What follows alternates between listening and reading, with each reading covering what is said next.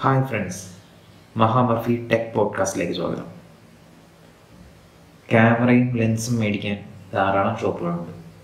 പക്ഷേ ക്യാമറയും ലെൻസും റിപ്പയർ ചെയ്യാൻ പ്രത്യേകിച്ച് ലെൻസ് റിപ്പയർ ചെയ്യാനും ക്ലീൻ ചെയ്യാൻ വളരെ കുറച്ച് പ്ലേസസ് ഉള്ളൂ ഇതിനായിട്ട് എല്ലാവരും മെയിൻലി ആശ്രയിക്കുന്നത് ക്യാനന്റെയും സോണിയുടെയും നിക്കോണിന്റെയും ഒക്കെ സർവീസ് സെന്ററുകളാണ് ഈ സർവീസ് സെന്ററുകളുടെ ഇതെന്താണെന്ന് പറഞ്ഞു കഴിഞ്ഞാൽ ഇവിടെ ഭയങ്കര ചാർജാണ് എല്ലാത്തിനും.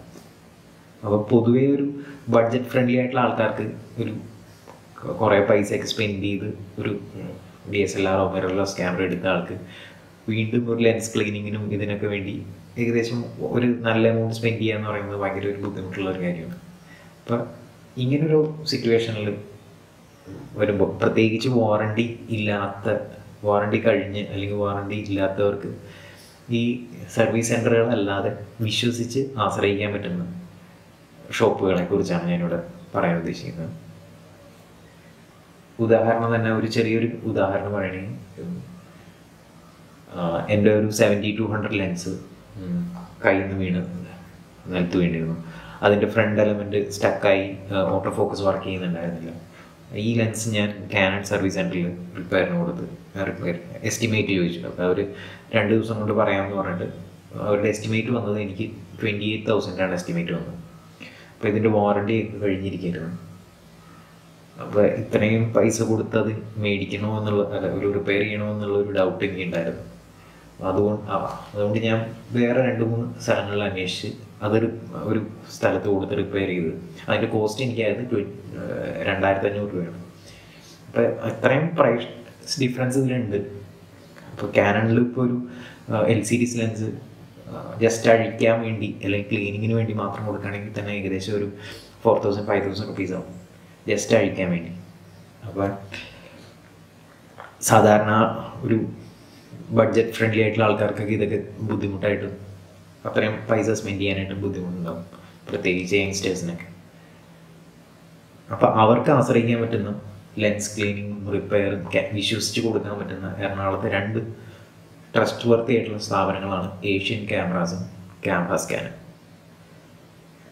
ഏഷ്യൻ ക്യാമറാസ് എന്ന് പറഞ്ഞാൽ കുറേ വർഷങ്ങളായിട്ട് മേ ബി എത്ര ഏകദേശം ഒരു ഏഴെട്ട് പത്ത് വർഷത്തോളമായി എറണാകുളത്തുള്ളതാണ്. പെൻഡാമേനകയിലാണുള്ളത് ഇവിടെ ക്യാമറ ഏത് ടൈപ്പ് ഓഫ് ക്യാമറയും ലെൻസും ഒക്കെ റിപ്പയർ ചെയ്യും.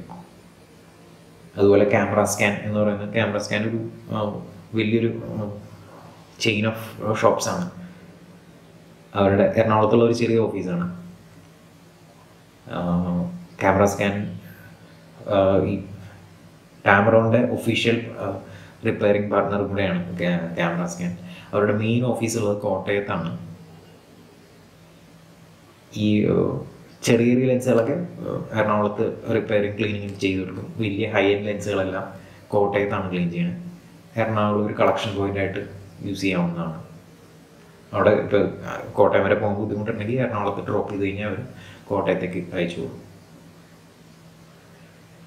പിന്നെ ഈ ഇതെല്ലാം ഞാൻ കൂടുതലും പ്രത്യേകിച്ചും പ്രത്യേകം ഇമ്പോർട്ടന്റ് ആയിട്ടുള്ള കാര്യം എന്താണെന്ന് പറഞ്ഞു കഴിഞ്ഞാൽ വാറണ്ടി ഉണ്ടെങ്കിൽ ക്യാമറയ്ക്കും ലെൻസിനും വാറണ്ടി ഉണ്ടെങ്കിൽ നിങ്ങൾ പരമാവധി സർവീസ് സെന്ററിൽ തന്നെ കൊടുക്കാൻ ശ്രമിക്കുക. ഇപ്പോൾ വാറണ്ടി ഇല്ലാത്തതാണ് അല്ലെങ്കിൽ സെക്കൻഡ് ഹാൻഡ് ആണ് ഇങ്ങനെയുള്ള സാധനങ്ങൾക്കൊക്കെ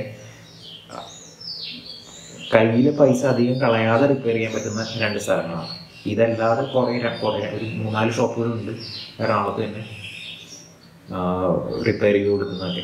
പക്ഷെ അതൊന്നും അത്ര ട്രസ്റ്റ് ട്രസ്റ്റ് വർത്തിയല്ല അതായത് വിശ്വസിച്ച് നമുക്ക് അങ്ങനെ ഏൽപ്പിക്കാൻ പറ്റില്ല. കാരണം അത് ഇതാവുമ്പോൾ ഇത് ഈ രണ്ട് സ്ഥാപനങ്ങൾ എന്ന് പറഞ്ഞാൽ ഇവിടെ ഇഷ്ടംപോലെ പ്രൊഫഷണൽസ് റിപ്പയറിങ്ങിന് ഇതിനൊക്കെ കൊടുക്കുന്നുണ്ട്. അപ്പോൾ പല ഫേമസ് ആയിട്ടുള്ള ആൾക്കാരും അവിടെ കൊടുക്കുന്നുണ്ട്. അങ്ങനെ ഇതൊരു വർഷങ്ങളായിട്ടുള്ള സ്ഥാപനങ്ങളാണ്. ഇവിടെ നിന്ന് എല്ലാം പെർഫെക്റ്റ് ആയിരിക്കുന്നത് പറയുന്നില്ല. പക്ഷേ ഇവിടെ നന്നായിട്ട് ചെയ്യുന്നുണ്ട്. അതുകൊണ്ടാണ് ഇത് രണ്ടും ഞാൻ എടുത്തു പറയുന്നത്. ഇത് ഒരു പെയ്ഡ് ആയിട്ടുള്ള ഒരു ഇതൊന്നുമല്ല.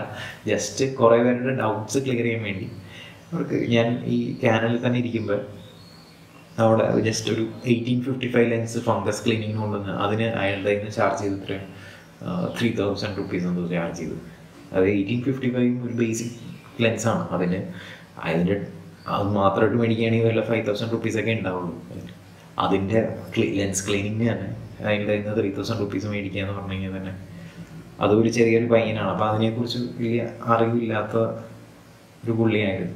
ഞാൻ പറഞ്ഞു ഇനി മുതൽ ക്ലീൻ ജീപ്പ് ഇങ്ങനെയുള്ള ഓപ്ഷൻസ് ഉണ്ട് എന്ന് പറഞ്ഞു കൊടുത്തിട്ടുണ്ടായിരുന്നു ഇതൊരു ചെറിയൊരു ഇൻഫർമേഷൻ തന്നാണ്. പിന്നെ അതുപോലെ ഈ കാനണും സോണി നിക്കോണും മാത്രമല്ല സിഗ്മ ടാമറോൺ ടോക്കിന എല്ലാ എല്ലാ ലെൻസുകളും ഇവിടെ സ്ട്രിപ്പ് പോയതാണെങ്കിലും ഫംഗസ് ഉള്ളതാണെങ്കിലും ലെൻസ് ക്ലീനിങ് ആണെങ്കിലും ലെൻസ് റിപ്പയർ ആണെങ്കിലും ലെൻസ് പൊട്ടിയിട്ടുണ്ടെങ്കിൽ മാത്രമാണ് എനിക്ക് തോന്നുന്നത് ക്യാമറ സ്കാനിൽ ചെയ്യുമായിരിക്കും ലെൻസ് റീപ്ലേസ്മെന്റ് കോട്ടയത്ത്.